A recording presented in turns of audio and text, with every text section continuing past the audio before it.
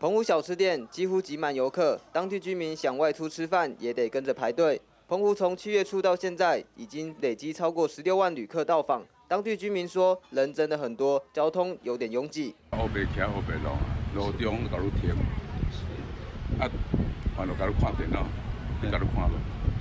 啊，搞你停起来塞车，哇，就一样。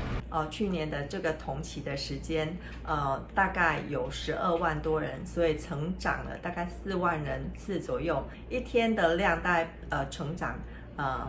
将近呃两千人左右。澎湖县旅游处表示，旅客量还在负荷范围。不过周日澎湖马公机场到站七十六架次，载客七千九百七十九人，离站七十六架次载走八千多人，创下当日到站离站人数新高纪录，比去年同期增加四成。不少从澎湖游玩回到台湾的旅客都觉得，爆量人潮已经影响旅游品质。对，太多了。嗯。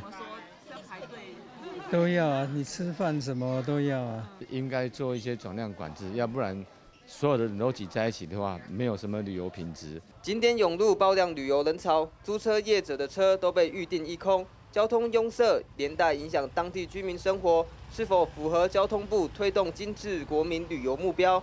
交通部长林佳龙表示，会和观光局以及地方政府协调，希望来疏散和分流。我们也特别啊建议，其实有一些啊。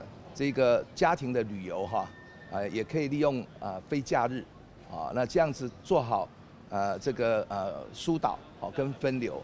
只是正逢暑假旺季，又碰上澎湖花火节，澎湖旅游人潮恐怕持续到八月底。而国内业者引进跳岛游轮，也预计会在七月二十六日展开跳岛行程。